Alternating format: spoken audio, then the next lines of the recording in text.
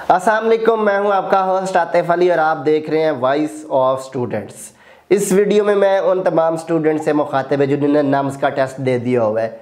अगर नम्स के टेस्ट की बात की जाए ऑलरेडी हमने स्टूडेंट्स को बेस्ट विशेस बोली थी। अलहमदिल्ला अलहमदिल्ला जो वॉइस ऑफ़ स्टूडेंट्स के स्टूडेंट हैं या वॉइस ऑफ़ स्टूडेंट्स के साथ जुड़े हुए हैं, बड़े अच्छे रिज़ल्ट हैं तमाम स्टूडेंट्स के, बड़े अच्छा एक नम्स की अगर बात की जाए तो आउटस्टैंडिंग रिज़ल्ट परफॉर्म किया है तमाम स्टूडेंट्स ने। हम तमाम स्टूडेंट्स का सबसे पहले वाइस ऑफ़ स्टूडेंट्स की टीम की तरफ़ से मुबारकबाद पेश करते हैं। अल्लाह ताला आप लोगों का हर मैदान में कामयाब करे और इस कामयाबियाँ जो होती हैं हमेशा अपने पेरेंट्स और अपने उस्तादों की जो है उनकी कोशिश और मेहनत की वजह से होती हैं, स्टूडेंट्स की मेहनत की वजह से होती हैं। तो आप अपनी मेहनत और अपनी कामयाबी को ज़रूर सेलिब्रेट करें। उसके साथ साथ अपने साथ और अपने वालदेन का जो एहसान है, ये एहसान तो नहीं कहेंगे, लेकिन उन्होंने कोशिश की, उसको भी याद रखें, अपने वालदेन और अपने साथ की भी कदर करें। वाइस ऑफ़ स्टूडेंट्स हमेशा से आप लोगों को हर एक चीज़ के हवाले से गाइड करते रहे। अब नाम्स की मेरिट लिस्ट में कैसे अप्लाई करना है? मैक्सिमम स्टूडेंट्स का ये सवाल है। नाम्स का मेरिट लिस्ट अप्लाई होना बहुत जल्द स्टार्ट हो रहा है, पहली बात। नम्स का मेरिट लिस्ट के अप्लाई प्रोसीजर जैसे स्टार्ट होगा, वो भी हम इंशाल्लाह शेयर करेंगे। नम्स के मेरिट लिस्ट में दो तरीक़ों से अप्लाई होगा पब्लिक सेक्टर का अलग प्राइवेट सेक्टर का अलग।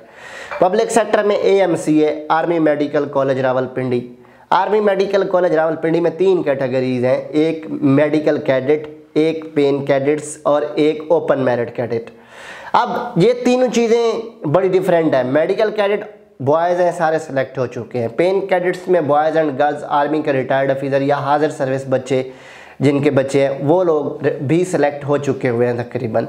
इसके साथ 60 सीट्स हैं एम की ओपन मेरिट के ऊपर, जो पूरे पाकिस्तान से, जिन्होंने नम्स का टेस्ट दिया, उनका एग्रीगेट बनेगा और मेरिट बनेगा। इसके साथ साथ अगर बात की जाए जो बीडीएस की सीट्स हैं, उनके ऊपर भी मेरिट बनेगा। इसी तरह एक साइड पे आप ए के लिए अप्लाई करेंगे, एक साइड पे आप सी जितने भी हैं, जिसमें सीएमएच लाहौर है C M H Wah cantt है सी एम एच खारियाँ है सी एम एच मुल्तान है सी एम एच बहावलपुर है, इसके साथ साथ फ़जाइया मेडिकल कॉलेज इस्लामाबाद है, Fazaia Ruth Pfau medical university इस्लाम कराची है, इसके साथ साथ Quetta institute of medical sciences Quetta है। ये वो कॉलेजेस हैं जो नाम्स के साथ एफिलेटेड हैं, जो नाम्स के साथ नाम्स का टेस्ट लेके मेरिट बनाएँगे। इसमें दोनों में आपको अप्लाई करना पड़ेगा। आपने सेलेक्ट करनी है ओपन मेरिट कैटेगरी या रेसिप्रोकल कैटेगरी सेलेक्ट करनी है। आपने कॉलेज की प्रेफरेंस लिस्ट सेलेक्ट करनी है अपने मेरिट के अकॉर्डिंग याद रखें मैक्सिमम स्टूडेंट ये भी सवाल पूछ रहे हैं कि पिछले साल का मेरिट क्या था और इस साल कहाँ मेरिट जाएगा। पहली बात मैंने ये बतानी थी आप लोगों को कि पिछले साल एफएससी का रिज़ल्ट बहुत आउटस्टैंडिंग रिज़ल्ट था। शायद कोविड की वजह से स्टूडेंट्स के मैक्सिमम मार्क्स थे।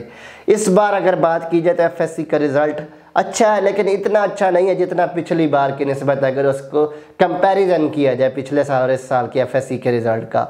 और हम ये भी नहीं कह सकते कि उन तमाम स्टूडेंट्स का जिनके एफएससी में मार्क्स अच्छे और उन्होंने नम्स में अच्छे मार्क्स ले लिए हों। और हम ये भी नहीं कह सकते कि जिनके एफएससी में मार्क्स अच्छे हैं और उनके नम्स के एंट्री टेस्ट में भी कम मार्क्स हों। तो ये दो चीज़ें बड़ी इंपॉर्टेंस रखती हैं। और हर स्टूडेंट अपने स्टेशन को भी प्रेफरेंस देता है। पिछले साल की बात करें तो पिछले साल की जो है, तमाम नम्स का जो एएमसी का बैनर था वो 90 परसेंट पर आ गया था। क्यों? क्योंकि स्टूडेंट्स ने सीट्स छोड़ दी थी वहाँ पे। अब कुछ ऐसे स्टूडेंट्स भी थे जिनके एफ़ में मार्क्स अच्छे थे, लेकिन एम डी कैड या नाम्स में रिज़ल्ट ही अच्छा नहीं था। अब इस साल भी ऐसे ही होने वाला है। कुछ ऐसे स्टूडेंट्स ज़रूर होंगे जिनका नाम्स का रिज़ल्ट अच्छा होगा, लेकिन एफ़ में अच्छे नहीं होंगे। और कुछ ऐसे होंगे जिनके एफ़ में अच्छे होंगे और नाम्स का रिज़ल्ट अच्छा नहीं होगा। इसीलिए परेशान होने की ज़रूरत नहीं है। मेरिट का एक अंदाज़ा लगाया जा सकता है। मेरिट इतना ज़्यादा नहीं जाएगा। हम ये कह सकते हैं 97 परसेंट से करीब तकरीबन स्टार्ट होगा। पहली दो तीन मेरिट लिस्टें तकरीबन 93 परसेंट तक एक्सपेक्टेड की जा सकती हैं। लेकिन इस बार मेरिट मैं ये एक्सपेक्ट मेरी एक असेसमेंट है कि बाकी अल्लाह बेहतर जानता है, लेकिन मेरी एक असेसमेंट है कि 91 या 92 मैक्सिमम 92 या मिनिमम 91 पर मेरिट स्टॉप होने वाला है। हाँ जो 90 या 90 प्लस वाले स्टूडेंट्स हैं वो लाजमी इसके ऊपर उम्मीद रखें और लाजमी इसमें अप्लाई करें। सीएमएच की बात करें तो सीएमएच लाहौर का 86 87 पे हर साल तकरीबन मेरिट स्टॉप होता है। इस साल भी तकरीबन वही एक्सपेक्टेड है क्योंकि सी सीएमएच लाहौर की फ़ीस बढ़ गई है। मैक्सिमम स्टूडेंट्स या पेरेंट्स उसमें पे ही नहीं करते। इसी तरह बाकी मेडिकल कॉलेजेस जितने भी हैं सी उनमें भी फ़ीस इस साल कुछ ज़्यादा है। तो इसीलिए उनका मेरिट भी इतना ख़ास नहीं होगा। मेरिट ख़ास ना होने से मुराद ये है कि प्राइवेट में ज़्यादातर पेरेंट्स पे नहीं कर पाते और मेरिट नीचे चला जाता है। पब्लिक सेक्टर में इसीलिए कम कह रहा हूँ ए में कि वहाँ पर लोग सीटें स्किप कर देते हैं किंग गढ़ में चले जाते हैं, कुछ नश्तर में चले जाते हैं, कुछ आरएमसी में चले जाते हैं। लोग अपने स्टेशंस को फॉलो करते हैं या फिर एफएससी या नम्स के टेस्ट के बेस पे बहुत कम लोग सेलेक्ट होते हैं। इसीलिए हम ये एक्सपेक्ट कर सकते हैं कि 91 या 90 के करीब मेरिट भी आ सकता है। तो वो तमाम स्टूडेंट्स जिन्होंने नम्स का टेस्ट दिया है उनका एग्रीगेट निकल रहा है। एग्रीगेट फार्मूला की भी बात करता चला जाऊँ 50 परसेंट नम्स का टेस्ट है 40 परसेंट एफ़ के टोटल मार्क्स में से लगेंगे और 10 परसेंट आप लोगों का मैट्रिक है। अब इसमें नम्स का 45 परसेंट तो आपका 150 में से और 5 परसेंट आपकी वो जो आ, आपने साइकोलॉजिकल टेस्ट दिया था उसका भी काउंट होगा। इसका भी फार्मूला जैसे अप्लाई प्रोसीजर आएगा क्लियर फार्मूला आ जाएगा इन उसके साथ वो भी हम डिस्कस कर लेंगे।